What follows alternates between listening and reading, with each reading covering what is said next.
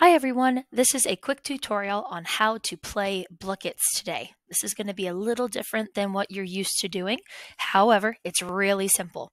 First, now that your Chromebooks are open or should be open, you need to open your browser. In this case, we are opening Google Chrome since you're on a Chromebook. Once you've got Google Chrome opened, you're going to go up here to your waffle or your Rubik's Cube or your dice block, whatever you call this little group of buttons up here. So click on your waffle and find Google Classroom. Click on Google Classroom to open it. Feel free to pause this video until everybody has kind of caught up with this step. Once you've opened up your Google Classroom, you need to find the one for exploratories for your grade level. As you can see, I have everyone's, but let's say that we're in fourth grade today. This will work the same for everybody you're going to go to the Classwork tab at the very top in your Google Classroom for Exploratories. Then scroll down until you find the music section. The most recent activity you'll find says Blooket Games, and it's got some joysticks and controllers on it for fun. Once you click on it, it has some directions for you and all of the links to the games. I'm going to click on View Material so it takes up my whole page. Here's what you need to do. The links below will take you to various Blooket games. You're going to be reviewing the new rhythms we focused on this week. The first link is Tower Defense. Number two is Cafe. Number three is Factory. Number four is Crazy Kingdom. And number five is Tower of Doom. Unfortunately, the other games like Crypto Hack and whatnot are not able to be played right now because they are games that require multiple people, like Battle Royale. You can't have a Battle Royale against yourself, you have to have other players. You are not allowed to host your own Blooket. We will be doing those activities within the next couple weeks during class when we do some more review games, but today is just individual review. So, the games right here, these five links, can only be played alone, but you can still be competitive against your classmates. So you and a partner or a small group can see who gets the most answers correct at the end of the game or gets the highest score. Um, or you can do which person in your group can finish the game first with the best score, or which person can make it the longest in their game and survive. So there's lots of different ways to play. You only need to click these links and then enter a nickname.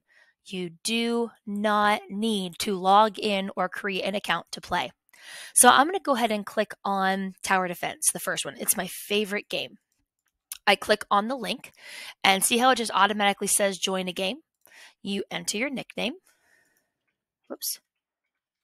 once you enter your nickname, you click the arrow, select new game, and you'll notice that I have actually played through these quite a few times. Like I made it to like round 21. Um, you can just hit replace game if you already have one or um, select new one. There is a new map this time, abandoned mine. And then, of course, yours will do something different than mine. You can ignore this part. I get more tokens. But apparently, I am in 11th place in comparison to the people who played against me that day. I did get 98% of the questions right, though. Goodness gracious. okay, so I'm going to go ahead and hit continue. If you don't know how to play the game, it's going to ask you, would you like a quick tutorial?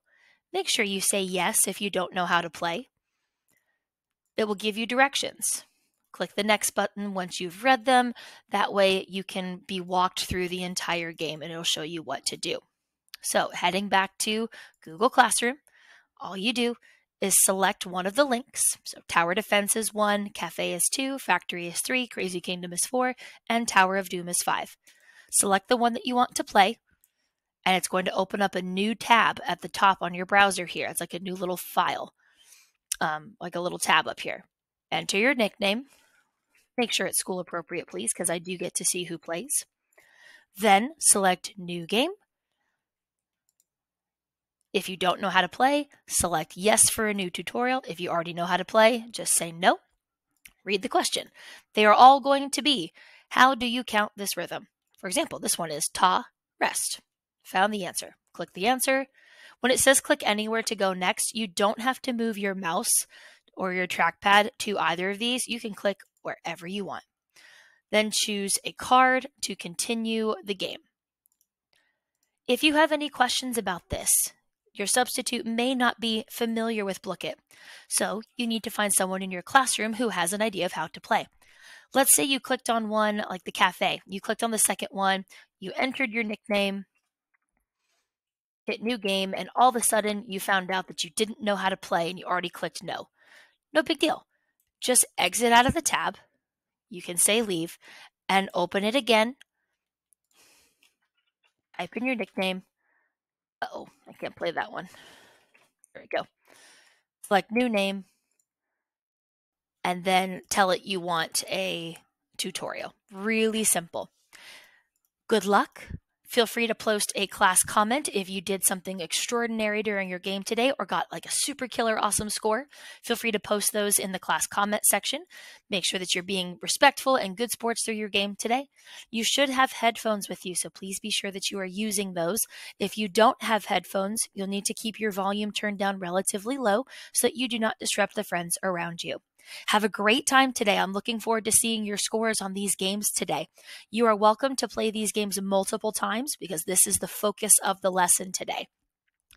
If you have any questions, feel free to uh, post them on the comments, and if I am able to, I will respond uh, when I can. I will see you guys next week. Bye.